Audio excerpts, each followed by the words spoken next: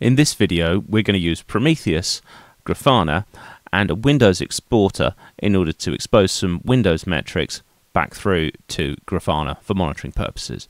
Now, as part of this, uh, it should be noted that the uh, the host I'm actually running uh, the Grafana and Prometheus components on is uh, Ubuntu. It's actually on an LXC container. Uh, that's just personal preference. You could do this on a VM or Ubuntu or another Linux version. So um, it's up to you as to exactly what you want to run it on. Um, to get yourself started, you need to make sure you've got Docker installed. And um, so what I'll do quickly is just demonstrate how to install that. So you want to do sudo apt-get update, which is going to do nothing for me because it's already up to date.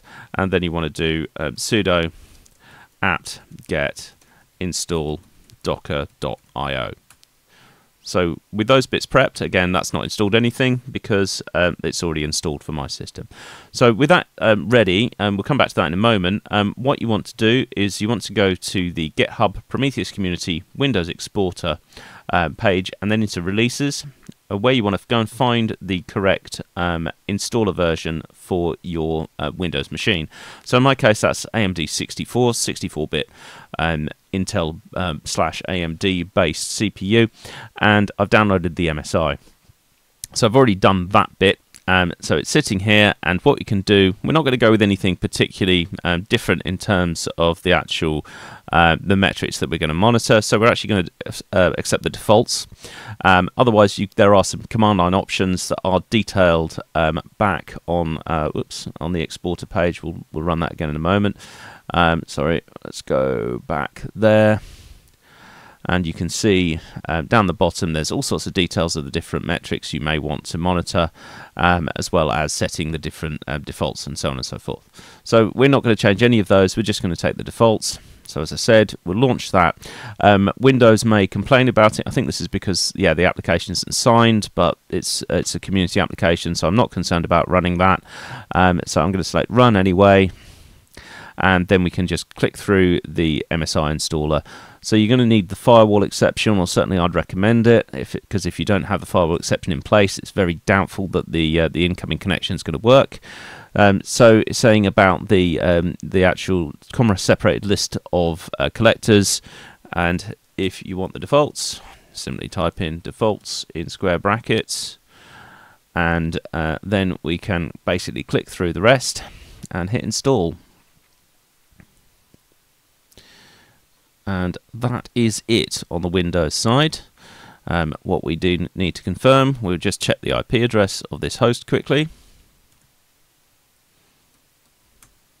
So it's 192.168.5.143 and our Docker host is on 5.142. So if we go over here and we type in 192.168 5.143 and we go to uh, 9182 you can see the autocomplete is on there because I have tried this once before and that's already showing a number of metrics. Great we've got a connection through to Windows.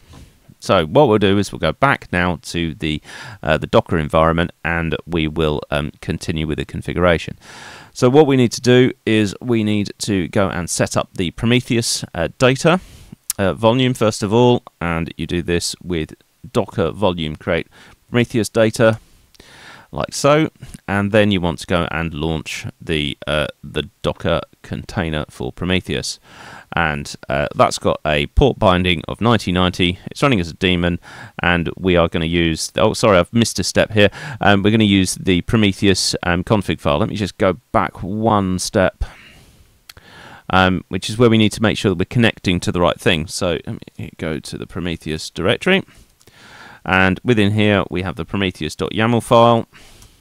And so what I've done there is I've specified the IP address and the port number of the target that we're going to connect to for our metrics and given it the metrics path of forward slash metrics, which is what you can see up there. So we've done that and then we're going to now paste in the uh, the actual docker run commands again now that I've got it around the right way. And we can then kick that one off and that's going to go and pull down the docker image for Prometheus and just take a few seconds. Okay, so that is now present. So what we can do is we can copy that address. So it's very similar to what we want.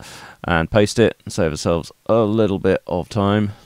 So we're going to go 142 and 9090 and lose the metrics bit off the end.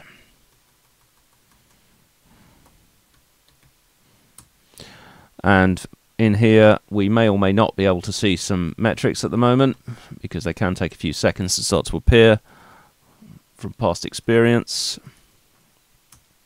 Yeah, not having it, so we'll give up on that. Uh, instead, we'll press ahead with the rest of the config. So I'm fairly confident this is working anyway.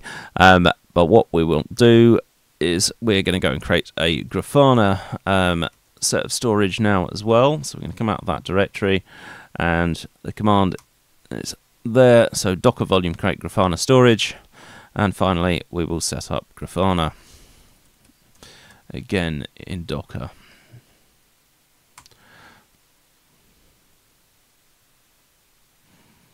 And that's downloading obviously from um, the um, Docker Hub and should start up in a second. So this is now on port um, 3000 on our host. So it's on the same IP address here because this is the Docker host IP um, that we're uh, we're going to use. So we can simply change that to 3000, which will then prompt us for logging in because this is the first time this instance has been started up. Chrome hates the admin password, so it's admin admin as the default username and password on there. And once you have been logged in successfully once, you have to change your password. Um, so we're on, in here now, and what we need to do is we need to go and set up the data sources. And because we're connecting to get the Windows metrics via Prometheus, we need to add Prometheus as a data source. We'll leave it named as Prometheus. And what we can do is we can actually, and you can see it's pre-cached it because I've run this through a couple of times now.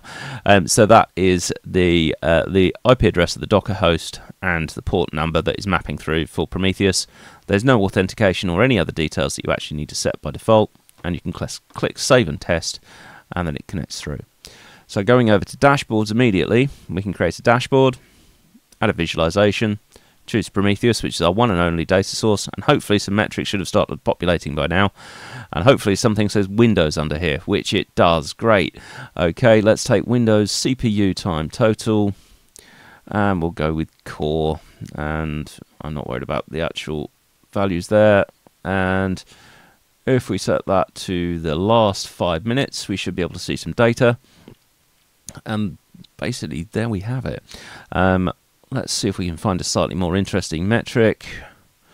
Maybe uh, logical disk free. Uh, no. Let's go with memory.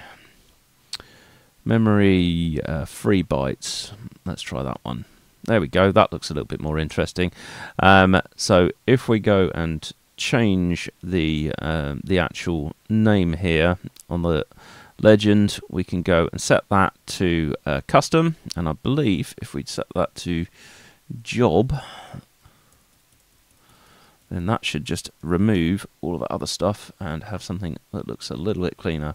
There we go, Windows Server, and we can put on there um, the title, which is um, free physical memory bytes and save the dashboard. And back to the dashboard view and there we go. So if we go over back over to the uh, the Windows host now and we go and find open up some other stuff I don't know let's open up uh, let's see calculator or something like that or paint. Let's go with that I can't even think where to find paint these days. Um,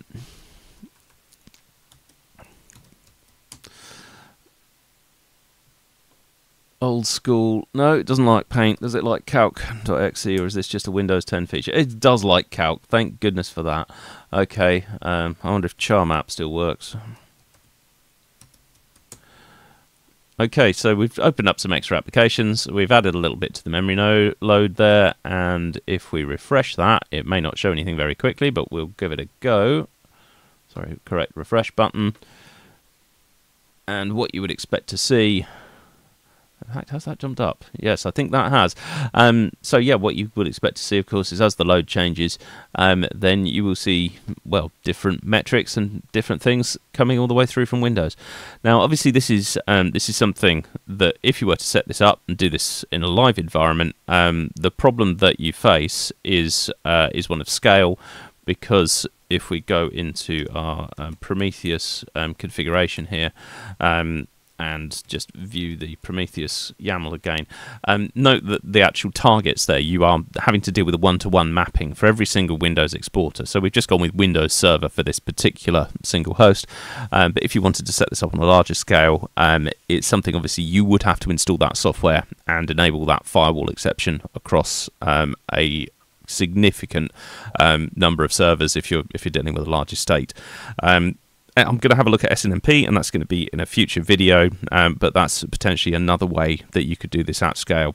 But otherwise, um, it could be a little bit painful, and you'd probably want to publish the actual um, application and um, script the installation across the server estate.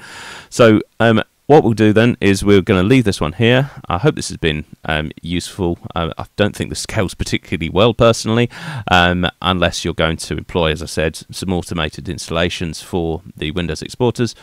But otherwise, um, yeah, that's that's about it. So hopefully this has been useful, um, and um, please like and subscribe. Uh, otherwise, we'll catch you next time. Thanks very much. Bye now.